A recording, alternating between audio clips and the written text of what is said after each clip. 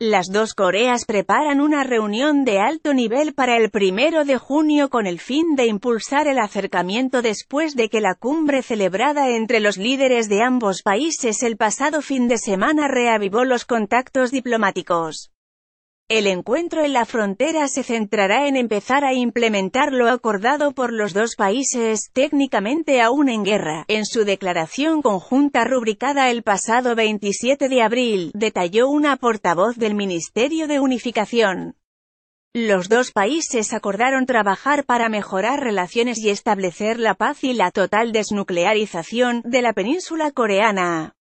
Sin embargo, el acercamiento atravesó un bache a mediados de mayo, cuando Pyongyang canceló súbitamente una reunión de alto nivel y condenó unas maniobras conjuntas aéreas realizadas por Estados Unidos y Corea del Sur.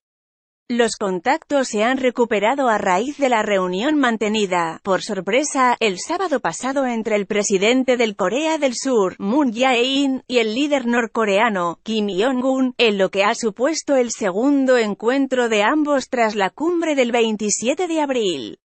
El encuentro del sábado también sirvió para volver a encarrilar la celebración de la cumbre entre Kim y el presidente de Estados Unidos, Donald Trump, después de que el mandatario estadounidense la canceló el jueves pasado por considerar demasiado agresiva la actitud de Pyongyang. Entre los posibles temas a tratar en la reunión de alto nivel del viernes estaría la celebración de un encuentro de familias coreanas separadas por la guerra previsto para el 15 de agosto. Ambos países se encuentran aún preparando las listas sobre la composición de las respectivas delegaciones para el encuentro del primero de junio, con información de FLHE.